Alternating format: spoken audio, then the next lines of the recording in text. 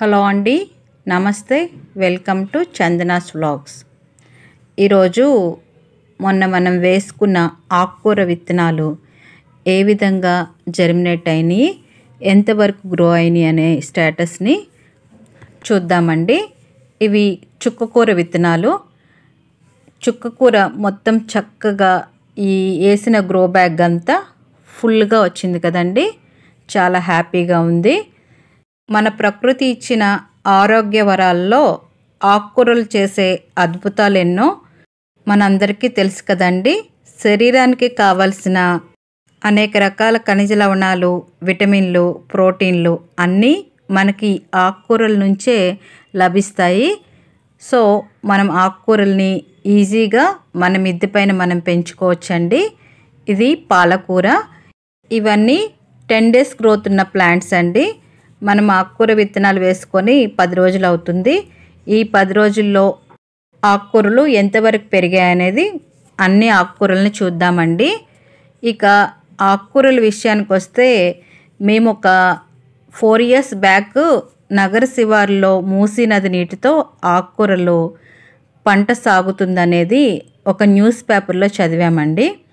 ఎప్పుడైతే అది చదివామో అప్పటి నుంచి ఆకుకూర అనేది బయట కొనడం మానేసామండి బయట మనం కొనుక్కునే ఆకుకూరల్లో మోతాదుకు మించి రసాయనాలు వినియోగిస్తున్నారని చెప్పి దానివల్ల రక్తహీనత ఎముకలు బలహీనపడటం మూత్రపిండ వ్యాధులు అనేకమైనవి ప్రబలుతున్నాయని చెప్పి ఆ న్యూస్ మేము చదివినప్పటి నుంచి మా మిద్దె పైనే ఆర్గానిక్గా ఆకుకూరలు పెంచడం అనేది స్టార్ట్ చేసామండి ఇవి సోంపు గింజలు వేసా కదండి అవి అవి ఎక్కువ వచ్చినట్టు అనిపించలేదు. మొన్న బాగా పడిన వర్షానికి కొన్ని గింజలు తేలిపోయినట్టు అయిపోయినాయండి. సో అందుకని ఎక్కువ రాలేదని నేను అనుకుంటున్నాను.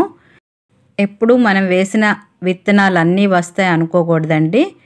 విత్తనాల యొక్క నాణ్యతను బట్టి కూడా జర్మినేషన్ రేట్ అనేది ఉంటుందండి. సో మనం బయట తీసుకొచ్చుకున్నప్పుడు కొన్ని కల్తీలు అనేవి జరుగుతుంది. అలా జరిగినప్పుడు ఇలా మనకి జర్మినేషన్ అనేది కాకపోవచ్చు. సోంపు గింజల విషయంలో అయితే నాకు సాటిస్ఫాక్షన్గా లేదండి. ఇవి ఎక్కువ జర్మినేట్ కాలేదు. నెక్స్ట్ ఇవి నేను నా గార్డెన్ నుంచి కలెక్ట్ చేసి పెట్టుకున్న గోంగూర విత్తనాలండి. నేను పెట్టుకున్న విత్తనాలన్నీ హండ్రెడ్ పర్సెంట్ జర్మినేషన్ అయినట్టు మనకి ఇక్కడ తెలుస్తుందండి. మనం రెగ్యులర్గా వాడుకునే ఆకుకూరల్ని ఆర్గానిక్గా ఇలా చిన్న చిన్న గ్రో బ్యాగ్స్లో కూడా ఈజీగా పెంచుకోవచ్చండి. మామూలుగా మనం తోటకూర పాలకూర చుక్కకూర మెంతికూర అనేవి మనం రెగ్యులర్గా వంటల్లో వాడుకుంటాము.